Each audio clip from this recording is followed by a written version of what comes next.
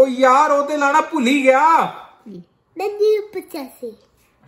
Hi everyone it's me Jay and welcome back to my channel आज की video specially उन लोगों के लिए इंपॉर्टेंट है जो एज अ स्टूडेंट या PR Canada within a week month या टू मंथ्स आने वाले हैं उन्होंने टिकट करा लिया बट थोड़ा सा कंफ्यूज है कि एग्जैक्टली exactly क्या पैक करें कोई आइडियल चेकलिस्ट एग्जिस्ट करती है नहीं तो हम उन सब चीज़ों के बारे में डिस्कस करेंगे। Plus I will give you some pro tips जो कि वो मिस्टेक्स हैं जो मैंने की थी and I don't want you to suffer from those and lastly PRs के लिए I will discuss two important things जो कि वीडियो के एंड में होगा और वो उनको लॉन्ग रन में बहुत ज़्यादा हेल्प करेगा। तो अगर आपको सारी इन्फॉर्मेशन चाहिए तो please watch the video till the end and अगर आपको अच्छी लगे तो please subscribe to my channel now without wasting any further time let's get started सबसे पहले स्टार्ट करते हैं document which is the most important thing document को याद रखने का सिंपल फंड है, आप क्रोनोलॉजिकल ऑर्डर फॉलो करें। तो सबसे पहले जब आप बॉर्न हुए थे, आपका बर्थ सर्टिफिकेट होना चाहिए। इन केस वो आपके पास नहीं तो प्लीज़ अरेंज करा लें, क्योंकि वो आपको आज नहीं तो कल अपनी पी या सिटीजनशिप एप्लीकेशन में रिक्वायर्ड होगा। मूविंग ऑन फिर आपको टेंथ एंड ट्वेल्थ के पास सर्टिफिकेट एंड मार्कशीट चाहिए। फिर अगर आपने ड्राइविंग लाइसेंस बनाया तो प्लीज़ अपना ड्राइविंग लाइसेंस प्लस उसका एक एक्सट्रैक्ट आपको अथॉरिटी से मिल जाएगा विच इज़ नथिंग बट कि आपका कितना एक्सपीरियंस है उसको रिलेटेड वो लेकर आना है, ताकि आपको यहाँ पे ड्राइविंग लाइसेंस जल्दी मिल जाए।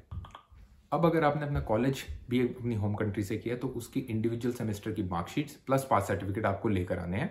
और जब आप कनाडा के लिए अप्लाई करते हैं तो आपने अपना आई स्कोर डब्ल्यूएस का form G I C funds के डॉक्यूमेंट्स अगर आपने एज अ पीआर अप्लाई करा तो पीआर रिलेटेड डॉक्यूमेंट्स अगर आपने स्टूडेंट की तरह अप्लाई करा तो कोर्स करिकुलम और जो आपको सर्टिफिकेट आया होगा कॉलेज से वो ज़रूर लेकर आना है।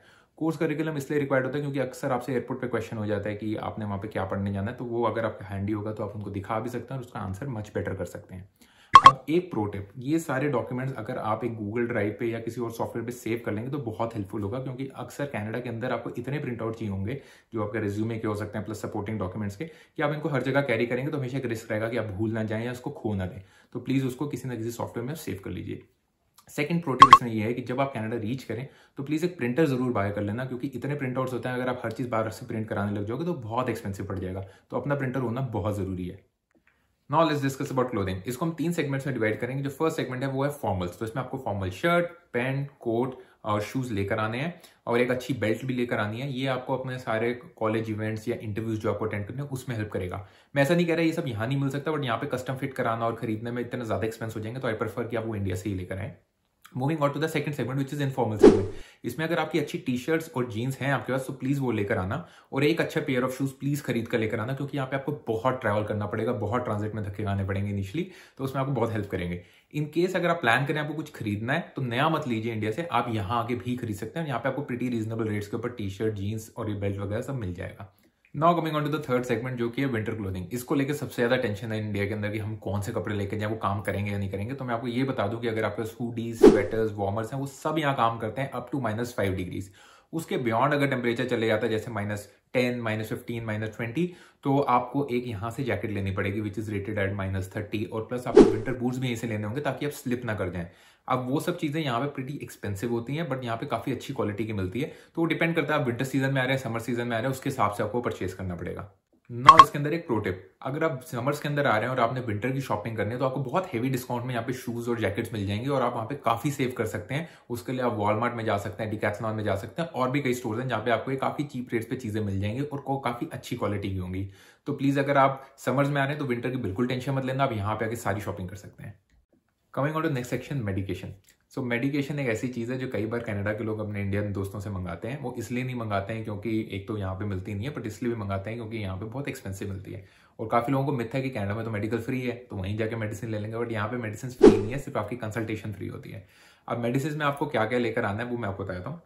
पैरासीटामोल, ये सबसे इंपॉर्टेंट मेडिसिन है जो आपको लेकर आने, क्योंकि इसका इक्विलेंट टाइलोनोल यहाँ पे 10 से 15 डॉलर का मिलता है, और वो इतनी सी शीशी होती है। तो उससे बेटर आप इंडिया से ही लें उसके अलावा आपको सप्लीमेंट्स लाने जैसे कि डी ट्वेल्व डी थ्री और आयरन ये इंपॉर्टेंट इसलिए है क्योंकि इंडिया में तो आपको खाना मम्मी और पापा दे देते हैं तो उसमें आपको ईजी रहता है, आपको सारे न्यूट्रिएंट्स मिल जाते हैं। यहाँ पर अक्सर लोग अपने मील स्किप कर जाते हैं या फिर बाहर से खा लेते हैं या खुद बनाते हैं, खुद मैगी खा लेते हैं। तो ये सारी चीज़ें उनके शरीर में डेफिशिएंट होती है और अगर इनमें से कुछ भी नीचे जाता है तो बंदा चल भी नहीं पाता और उसके बाद फिर अपनी शिफ्ट मिस करते हैं। तो प्लीज़ मेडिसिन अपनी आप सारी ले आना।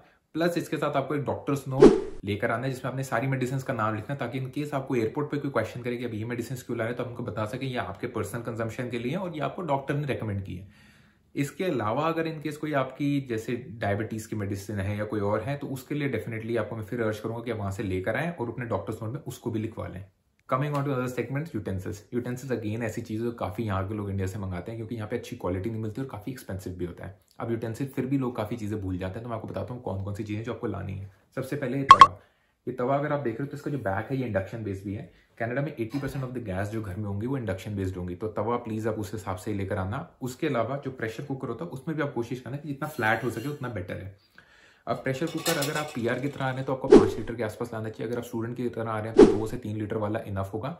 लेकिन एक चीज़ जो प्रो टिप है, वो है कि इसके ऊपर एक रबर सील होती है, वो एक्स्ट्रा लेकर आना, ताकि आप खुद चेंज कर सके, इनके ऐसे घिस के खराब हो जाए। वरना आपको इसको डिस्कार्ड करना पड़ेगा और नया लेना पड़ेगा, क्योंकि यहाँ पे आपको रबर सील नहीं मिलने वाली।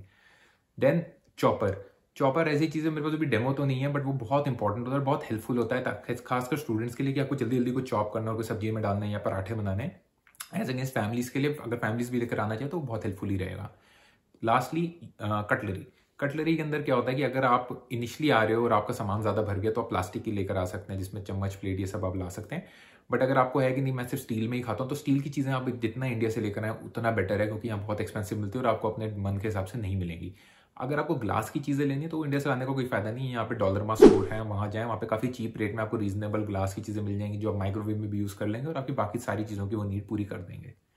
अब डिस्कस करते हैं अबाउट कॉस्मेटिक्स एंड स्टेशनरी तो पहले मैं स्टेशनरी को डील करता हूँ। स्टेशनरी के अंदर जैसे फेविक्विक हो गया सेलो टेप हो गया, ये बड़ी इंपॉर्टेंट चीज़ें हैं। ये यहाँ पे बहुत एक्सपेंसिव मिलते हैं और इंडिया में काफ़ी चीप मिलते हैं। मैंने कई बार फेविक्विक अपने दोस्तों से मंगाई है तो मैं आपको यही सजेस्ट करूँगा, पाओ तो कम से कम दस का पत्ता फेविक्विक आप लेकर आओ।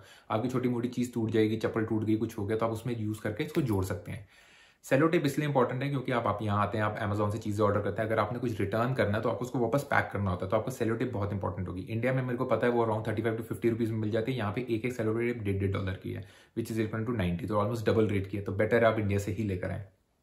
Now moving on to cosmetics cosmetics मैं तो इतना नहीं यूज़ करता बट मेरी वाइफ काफ़ी यूज़ करती है। तो मैं ये कहूँगा कि जैसे आपका मॉइस्चराइजर जो है, जो डेली नीड के लिए होता है, वो आप प्लीज़ इंडिया से लेकर आए। हो सके तो थोड़े बहुत साबुन वगैरह आप इंडिया से लेकर आ जाए, क्योंकि अगेन यहाँ पे चीज़ें थोड़ी एक्सपेंसिव रहेंगी। उसके अलावा अगर आप जैसे फेस का कुछ लगाते हैं पाउडर वगैरह, ये सब तो वो भी आप इंडिया से ही लेकर आ जाएँ। इनिशियल फेस के लिए, उसके बाद ग्रेजुअली आप यहाँ से चीज़ें ले सकते हैं।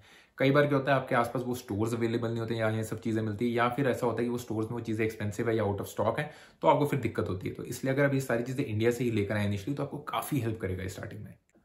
अब बात करते हैं अबाउट टेक तो टेक में हम आप फ़ोन और लैपटॉप्स के बारे में डील करेंगे। सबसे पहले मैं लैपटॉप्स के बारे में कहना चाहता हूँ कि अगर आपके पास लैपटॉप है इंडिया में और वो आई थ्री एन अबव है और काफ़ी रिसेंट है, उसमें सारे अपडेट्स हुए पड़े और कोई दिक्कत नहीं दे रहा तो आप उसको लेकर यहाँ आ सकते हैं। सिर्फ़ एक चीज़ का ध्यान रखना कि उसके चार्जर के लिए आपको एक अडाप्टर लेना होगा और एक नहीं, कम से कम दो तीन अडाप्टर लेकर आना ताकि आप उसको इजिली कनेक्ट करके चार्ज कर सके। ये मेरा पर्सनल एक्सपीरियंस है, मैंने अपना लैपटॉप यहाँ पे लाया था विच वॉज़ आई फाइव और वो काफ़ी अच्छा चला, उसमें कोई दिक्कत नहीं आती है और उसको आप इजिली यहाँ पे यूज़ कर सकते हैं और सारे सॉफ्टवेयर इंस्टॉल हो जाते हैं और आराम से आपका सारा काम कर देगा। बट इन केस अगर आप नया लैपटॉप लेने का सोच रहे हैं तो मैं आपको सजेस्ट करूँगा कि आप यहाँ के खरीदिए तो उसमें आपको इंश्योरेंस वारंटी और जो चीज़ें आपको चाहिए, वो सारा कुछ यहाँ मिल जाएगा। और यहाँ पे आपको बेटर लैपटॉप मिल जाएगा काफ़ी रीजनेबल रेट पे। तो अगेन अगर आपके पास लैपटॉप है तो उसको कंटिन्यू करिए। अगर आपके पास नहीं है तो आप यहाँ आके परचेज करिए इंडिया से परचेज मत करना। अब बात करते हैं about most curious section which is phones तो काफ़ी लोग इंडिया से कहते हैं कि कनाडा से फ़ोन मंगा दो, या फिर हमारे को आईफोन वहाँ से सस्ता पड़ रहा है। वो डेफिनेटली ट्रू है। यहाँ पे चीज़ें थोड़ी सस्ती हैं as far as phone are concern but उसमें भी मैं आपको सेम ही सजेस्ट करूँगा, अगर आपके पास इंडिया में एक अच्छा फ़ोन है स्पेशली लाइक सैमसंग या नोकिया ऐसे ब्रांड्स हैं तो आप यहाँ पे ला सकते हो, उसमें कोई चलने में दिक्कत नहीं होगी। चाइनीज़ ब्रांड्स में थोड़ा सा दिक्कत हो सकती है, क्योंकि मेरे पास शॉमी का फ़ोन था, वो यहाँ पे आके नहीं चला था, और वो काफ़ी यहाँ पे बिकते भी नहीं है तो इसलिए वो थोड़ा प्रॉब्लम हो सकता है बट अगर आपके दूसरे ब्रांड्स हैं तो आप उसको डेफिनेटली यहाँ ला सकते हैं इंक्लूडिंग मोटरोला दूसरी बात अबाउट फोन्स ये है कि हाँ काफ़ी लोग कहते हैं यहाँ सस्ते पड़ते हैं, वो इसलिए कहते हैं क्योंकि यहाँ पे फ़ोन आपके प्लान के साथ बंडल हो जाता है। तो जैसे मेरा पहले प्लान 45 डॉलर्स का था, जब मैंने उसमें आईफोन ऐड कराया तो वो 50 डॉलर्स का हो गया। तो 5 डॉलर्स अगर मैं दो साल तक देता हूँ एक्स्ट्रा तो आईफोन मेरा हो जाएगा। तो ये चीज़ें देख के काफ़ी लुक्रेटिव लगता है कि काफ़ी अच्छे बेनिफिट्स हैं बट ये बेनिफिट सिर्फ़ उन लोगों के लिए होते हैं जिनका क्रेडिट स्कोर यहाँ पे छः महीने से एक साल का होता है वो काफ़ी अच्छा होता है। तो एज अ स्टूडेंट या न्यू पी आर अगर आप आते हैं तो उसमें आपका इनिशियल क्रेडिट स्कोर कुछ नहीं होता तो ये फीचर्स और बेनिफिट्स आपको कंपनीज़ नहीं देंगी। तो बेटर है आप अपना इनिशियल फ़ोन लें या यहाँ पर आकर कोई सस्ता सा फ़ोन उठा लें, कुछ टाइम के लिए उसको चलाएँ और बाद में जब आपको ये बेनिफिट्स मिल जाए तो आप इनको यूज़ कर सकते हैं। एक पोर्ट प्रोट है आप अगर इंडिया से फ़ोन लेकर आने तो उसके साथ डेफिनेटली आप प्लीज़ स्क्रीन गार्ड लेकर आना और उसको लगाना, सीख के आना, क्योंकि अगर आप यहाँ पे आके स्क्रीन गार्ड टूट जाता है और आप उसको रिप्लेस कराते हो और लगवाते हो आउटसाइड तो आपको पचास डॉलर से कम का खर्चा नहीं होगा। बट यही चीज़ अगर आप इंडिया से जाओगे तो आपको पचास रुपए में पाँच स्क्रीन गार्ड मिल जाएँगे और आप उनको खुद इंस्टॉल कर सकते हो। अब coming to the last segment जहाँ पे मैं दो बहुत इंपॉर्टेंट चीज़ों के बारे में डिस्कस करूँगा, वो पीआरस के लिए ज़्यादा रेलिवेंट है। स्टूडेंट्स के लिए भी इतना रेलिवेंट नहीं है, लेकिन ग्रेजुअली जब वो पीआरस बन जाएँगे तो उनके लिए भी रेलिवेंट हो जाएँगे। तो मैं यही सजेस्ट करूँगा कि अगर आप अभी वॉच करेंगे तो maybe in the future अगर आप वीडियो ना भी वॉच करें तो आपको याद रहेंगी। तो let's get started with that सबसे पहले डिस्कस करते हैं अबाउट गोल्ड गोल्ड ऐसी चीज़ है जो कि गवर्नमेंट कहती है कि जितना आप सारा ले आइए, आपको फ़ोटोज़ खींचनी एक्सेल बनानी है साथ में उसकी रिसीट्स दिखानी है इमिग्रेशन ऑफिसर को.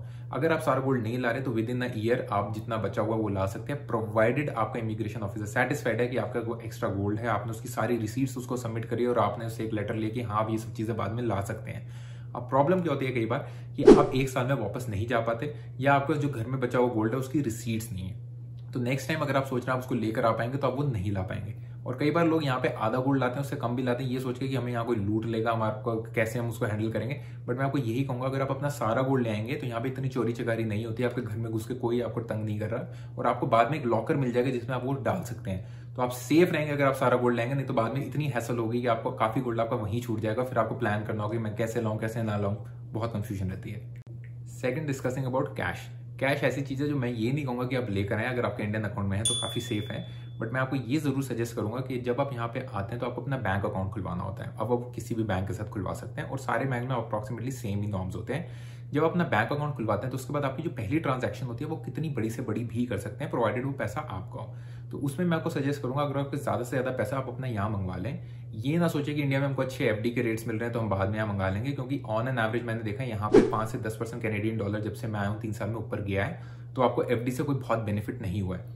लेकिन आपकी हैसल ये बढ़ जाती है कि अगर आप बाद में पैसा मंगाते हैं तो उसका आपको पेपर वर्क बहुत दिखाना पड़ता है कि वो आप ही का है वो आपके अकाउंट में काफ़ी टाइम से पड़ा हुआ है, और लेट सपोज़ आपको घर खरीदना है तो आपको तीन महीने पहले वो पैसा मंगाना है, और अगर आपका कैनेडियन डॉलर में बहुत ऊपर चल रहा होगा, फिर अगेन आप वहाँ पे स्टक हो जाएँगे कि मैं क्या करूँ, मंगाऊं, ना मंगाऊं, और कई बार आपको छह से सात महीने पुरानी आपको स्टेटमेंट्स भी दिखानी पड़ जाती हैं। तो वो चैलेंजेस से अगर आपको बचना है तो मैं यही सजेस्ट करूँगा, आप सबसे पहले ही इनिशियली बड़ा अमाउंट मंगा लें।